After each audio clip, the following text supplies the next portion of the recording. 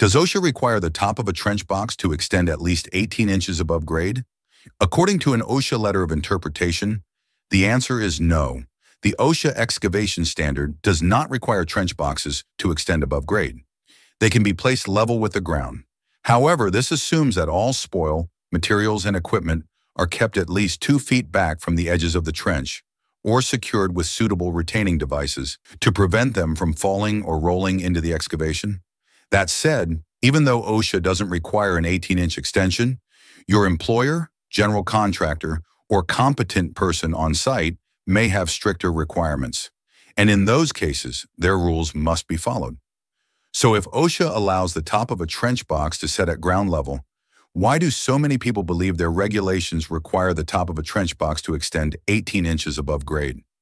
It's probably because of a different requirement found in Appendix B of the OSHA Subpart P excavation standards.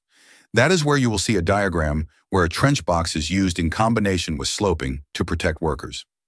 In that situation, the top of the trench box, which sits below grade, extends at least 18 inches above the vertical portion of the trench walls, starting at the point where the slope begins. This 18-inch extension is mandatory every time a trench box is used together with sloping to ensure workers are protected from soil and material sliding into the box.